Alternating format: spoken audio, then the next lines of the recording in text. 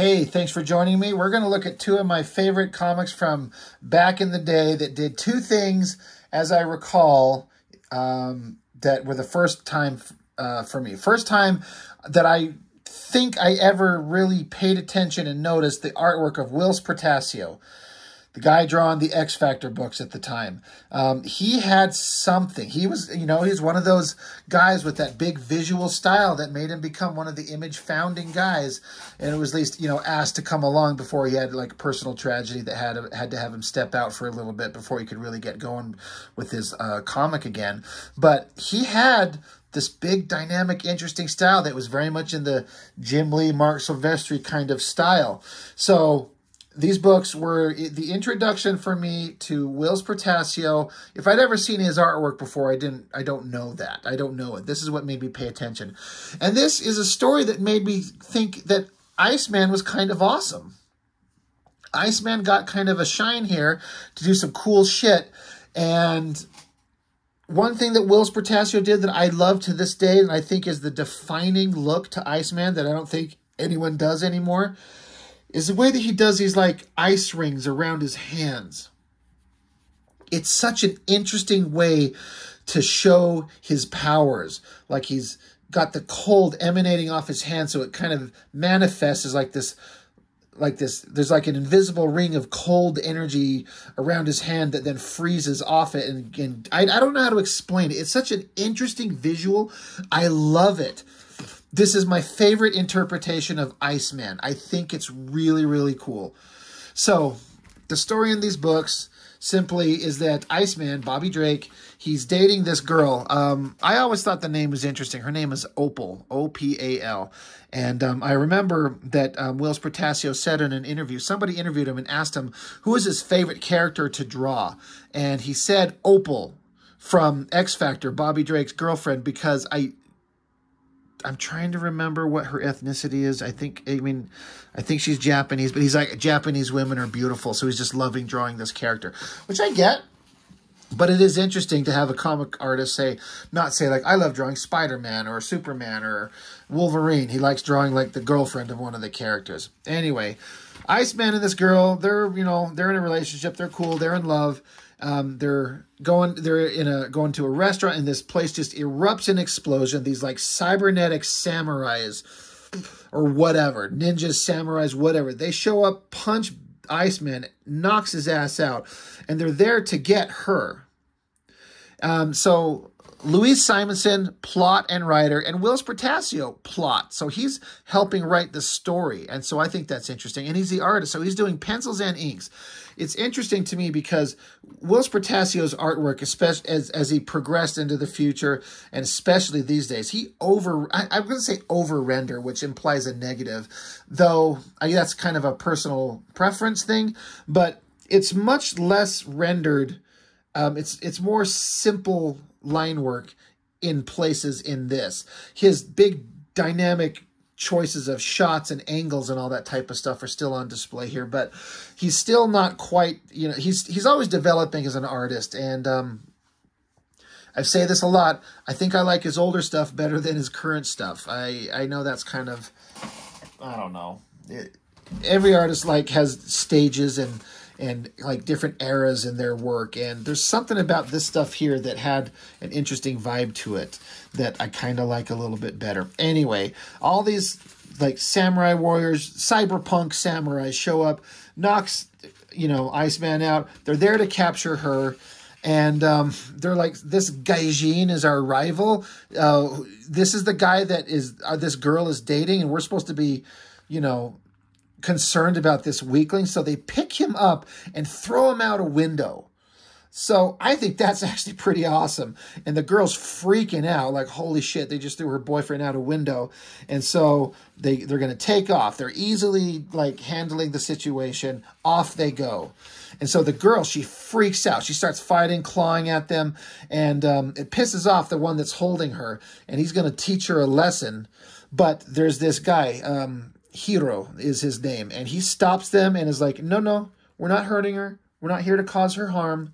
And then he comes to her and says, "You know, you must return to your grandfather. He's after you." and that's why we are here. And I could tell that Portacio, again, he really loved drawing this girl, but he likes this guy, this villain. And you're getting the hint here that he's on the bad guys team, but he's got a little bit of a heart and a little bit of soul. Uh, you know, he's not just a completely heartless bad guy. Let's see how that all plays out. Meanwhile, what happened to Iceman? This is one of my favorite, again, representations of power for Iceman. I do have to say that I've always thought that Whilce Portacio, for all the, he, he does have some weird, quirky things about his artwork that some people don't like. I dig it. His musculature, his shots, his choices of angles and stuff like that. But his way of rendering, like, energy and mutant powers like the way he does like again there's these ice rings around his hands and shooting ice so he can create a little ice bridge but then like lasers that we'll see the bad guys later on shooting energy lasers the way that he shows jean grey's mental tel- uh, telekinesis just the way that he draws energy and the representation of powers is really really neat We'll get back into that. So Iceman, he's falling. He comes back to consciousness, and I love this shot of him, just normal human him, and then he like his ice powers are erupting, like coming out of his mouth, and his like it just like the ice just explodes out of him, coats his body. He shoots out his ice bridge, comes back, and is like she's kidnapped. So he's like, I've got to find her. I always like this shot of him here. A little bit later, he's back with X Factor, the team. I always thought that he drew a badass Cyclops. I mean, I think that when I think of X Factor and the version of the team that I like, admittedly, this is my first exposure to them. So maybe I'm a little biased, but when I think of X Factor being awesome, it's the original five, you know, members that were the original five X Men team that are now the X Factor team, but it's drawn by Whilce Portacio. I think that his version of them looks good. I kind of dig these costumes with the blue and then the yellow X on them, and I think his Cyclops looks great. Beast looks awesome. Archangel looks great he just he just had a vibe for them that just worked. Anyway, Iceman's got to figure out what the hell's going on. He so he's like, I got to track her down. So he's on the case, you know, trying to find some information of where to go. He uh, finds these people that kind of understand this symbol that they left behind, who it is, and where to go. So they send him on, you know, they, they give him a direction. They point him in a way to go. We cut back to this uh, compound, and here's the girl Opal and his grand her grandfather. This angry guy is telling her to sit the fuck down, and she won't do it. She's being stubborn, so someone else forces her down, and he's like, "Look, um,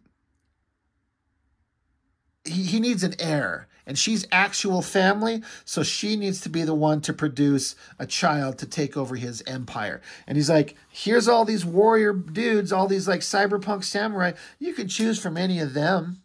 And they're all standing there looking awesome. Of course, the main guy hero up front and center looking awesome. I think the symbol is awesome. It's the the Japanese sun, but like this hand grasping it. Pretty awesome. And she's like, Are you fucking kidding me? Just because you say you're my grandfather doesn't mean it's true. I already have a boyfriend. I'm not going to marry one of these idiots. And meanwhile, she uh, finds out that this old lady that's there, she's telling Opal to calm down. You need to do what he says. She's like, Why? Who the fuck are you? And she's like, I'm your mother. She had no idea. Meanwhile, back with the X Factor, um, Iceman is, you know, he's like, I've got to go, I've got to go find. He's back, he's back again, talking to the team, saying, I've got to go do this thing. And um, Jean Grey basically is like, I'm coming with you. He's like, You don't think I can handle this? I can handle this on my own, you know? She's like, Yeah, I know you can, but we're a team. So I'm coming with you. She hugs him. She's like, I'm here for you. We're a team. All of us don't need to go, but I'm coming with you. I'm going to back you up. I think that's good. I think that's great. So interesting is that they make contact with Wolverine's old former love, Mariko Yashida, uh, the reluctant lord of the Yakuza clan Yashida. And so they make contact with her, and she's like, Yeah, I know who these guys are. They're a bunch of scum scumballs, and we've been having conflicts with them for a long time. If they captured your girl, this is bad. This is not good. So we can help you rescue her. We have converging interests. I like this shot of Iceman. This is one of those, like, it's just a it's an awesome shot. The shadow, the rendering, the face. I don't know. It just looks good. Portacio, he's got something that's awesome. Meanwhile, back with Opal and her grandfather, and all these warrior guys are out there like training and beating the shit out of each other, trying to show who's the biggest, toughest guy so they can win her heart. She's not interested in it. She's not going to have it. So she tries to run away. And once again, um, the, the one guy, Hero, he's like, look, you can't get away from this. You have to choose one of us. She's pointing out that they're all like half cyborg. They're not even, you know, they're they're not even men anymore. And she's kind of like trapped. She doesn't know how, what she's going to do. She doesn't know how she's going to get away. Back with um, Iceman and Jean Grey with Mariko, they're kind of planning their attack. They've got all these warriors are gonna, going to join them. They got a they got a plan. If we all stick to the plan, everything will work out just fine. All right, everyone stick to the plan. Cuz now there's this stadium and all these people are coming here to watch this like this big probably like this fighting event. So there um Opal is there, and all the cyberpunk samurais are in, you know, trench coats there to be protection. And Hero, he's looking up again, and um, he's like, God, that guy up there in the stands, that looks just like that that that um, the gaijin that we tossed from the window, Opal's boyfriend. He's like, no, that's impossible. I'm just, I'm nervous. And he's like, all gaijin do look the same. Yeah, racism. Anyway, so the grandfather comes out, got Opal there, and he's like, hey, we're to do this cool shit. We're to watch this cool shit. Opal decides to take the opportunity. She screams. She's like, I'm being kidnapped. I'm held against my will. So the grandfather smacks the shit out of her. And this pisses off Iceman. He screams Opal. She sees him, tears in her eyes, blood on her lips. She yells, Bobby. And um, Mariko's like, God damn it, Bobby, God damn it, my men are not in place. We're not ready. This is, is a disaster. So she commands her ninjas to attack. So out of the, just nowhere, uh, just a army of ninjas drop down. And so the cyberpunk samurai is in, in the leader hero. He's like, oh, I wasn't mistaken. That was him. Oh, no wonder. They said he wasn't ordinary. He's a mutant. That's awesome. Anyway, they're not going to steal uh, our Lord's granddaughter. So he commands his other cyberpunk samurais, kill them all. And here's another example of what I was talking about with Whilce Portacio drawing blasting energy, like the, the, the, the energy and movement in this panel with like the blast lines and the lasers just blasting out everywhere looks great. I love it. Um, so the ninjas are attacking, trying to, they get this one of these cyberpunk guys and they, the good guys on Mariko's team, they got this big sumo dude and he gets the cyberpunk guy and um, they got him, you know, he chokes him out. It looks like he kills him. Iceman coats one of them in ice. He's like, look, we can stop them without killing them. And so here's the cyberpunk guy encased in ice with just his head sticking out. But then one of the ninjas comes up. He's like, "No, no, we're we we'd be fools to leave such a dangerous enemy alive." Chops his head off and kills him. And so Iceman's in shock, and Hero he's noticing. He's like, Iceman was trying to spare my my comrade. He he's like, God, he's he's got some kind of honor. So Hero's like, I'm not going to shoot him in the back. He he was trying to do an honorable thing. I will not dishonor him or myself by shooting him in the back. So he's like, hey, turn and face me. And so when Iceman does turn, but suddenly a, um, another bunch, a big pile of ninjas come jumping down, and um, within seconds, Hero has just laid them all down. He, they're all down. They're they're dead. So um, you know, Iceman's looking. He's got to do. He's got to get him. He's got to get Opal. But the the bad guys teleport out. But just before they do, Hero launches this laser blast and hits Iceman, knocking him down.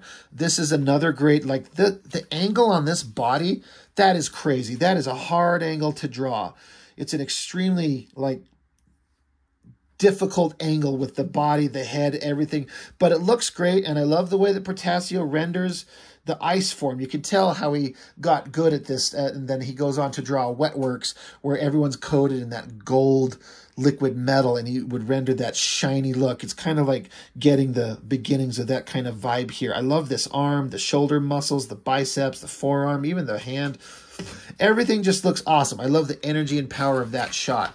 And so now now that the bad guys have teleported away with the girl, just the slaughter everywhere. All these ninjas dead, that bloody guys, the, the guy encased in ice with his bloody ass head blown off everywhere.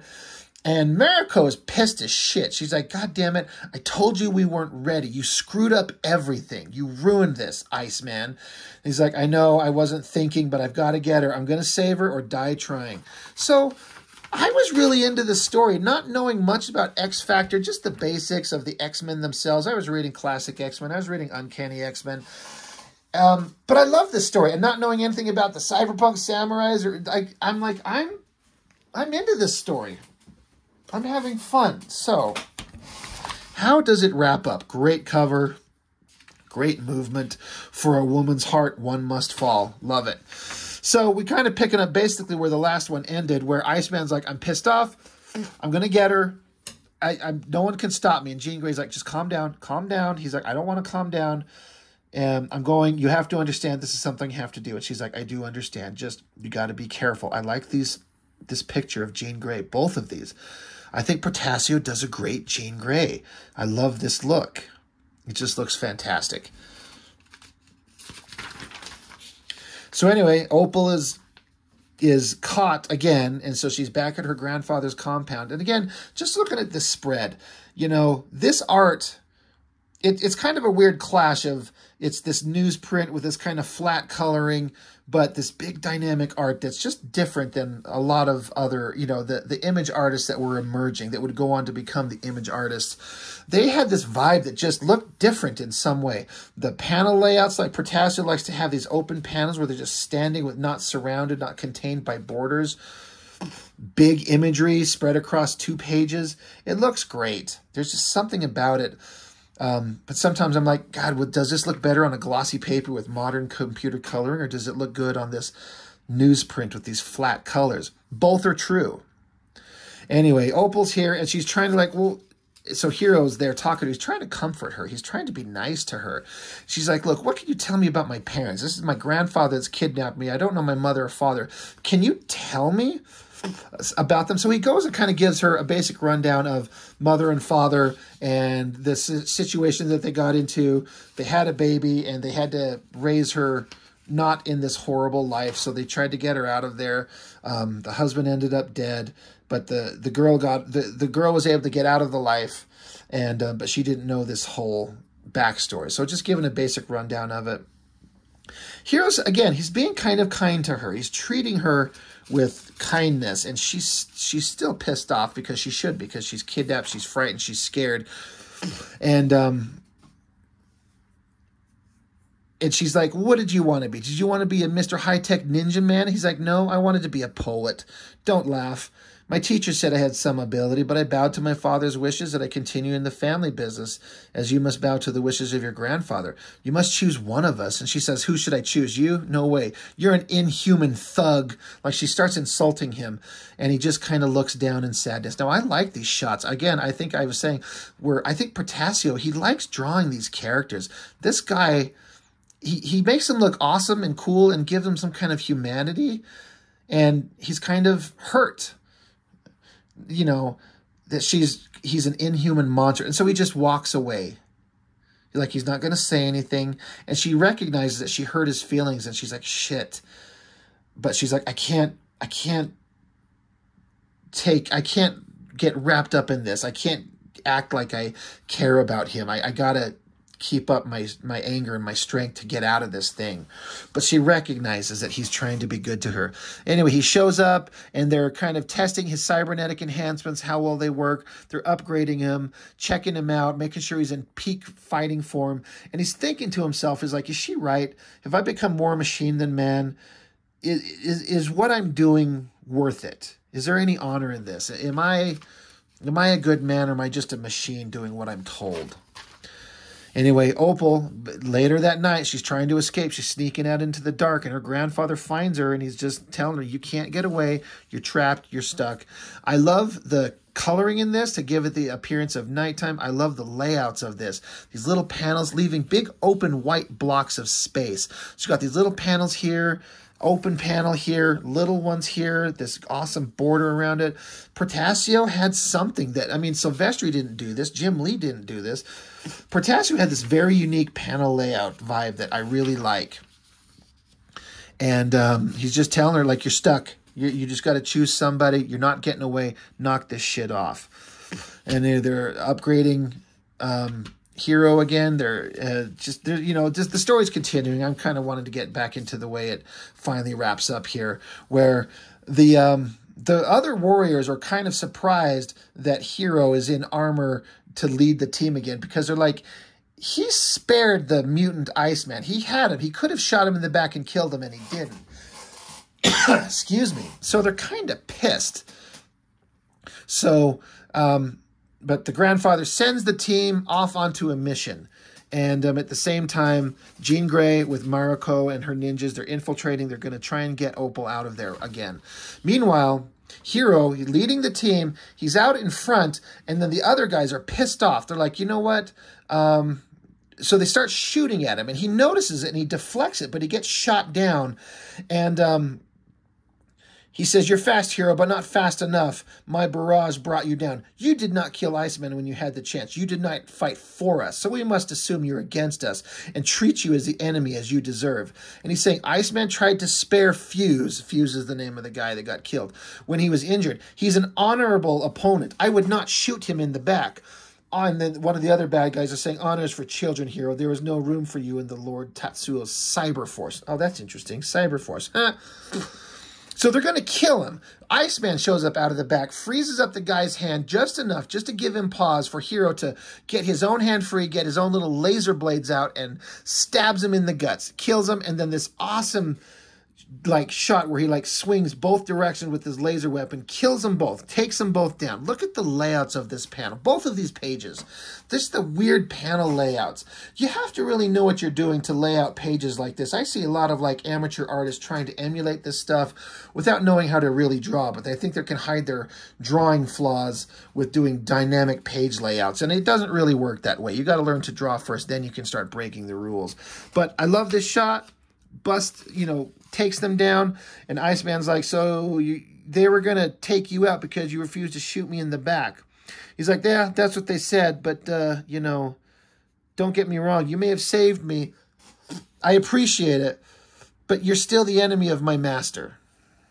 So we gotta we gotta fight. We gotta rumble. Cut back to Ninja's bloody covered sword. Mariko's getting the girl out of there. And uh, they basically rescued her. But she's like, but shit, where's Iceman? They're like, well, he's out there facing the cyberpunk samurais. She's like, oh my God, I got to go stop him. So she gets there. Iceman and Hero are facing off. And so Iceman ices him up. And Hero's like, dude, you can encase me in ice. I've got the power to shatter it and the power to do you injury, even in that form. One thing I started noticing here is that Portacio will like look at he'll do these things or like look at this little tiny figure. It's just this little tiny thing. But there's so much like power and drama in that. He's like, I'm super powerful, I'm super awesome. I can take you down, mutant.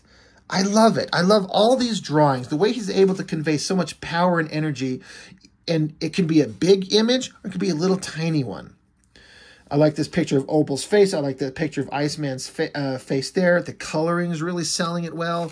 The energy and all that awesomeness. So they keep fighting. You know, he's blasting at Iceman. He's putting up like an ice wall shield. Jean Grey's coming down. And, um, you know, Opal saying, Jean, we, we got to help them. I don't want them to die.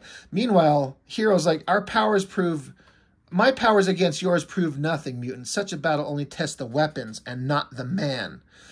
So Iceman shuts off all his ice powers. There he is just standing as a dude. He says, then fight me without powers. Now, again, this is another one of those pages. Of, I love the dynamic page layouts, and I love this figure.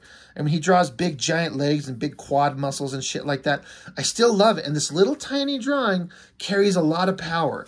I like it. It works. It's like a small pause, a quiet moment in the battle he's like, fine, let's get rid of the powers. Let's fight man to man. I love this shot of his face.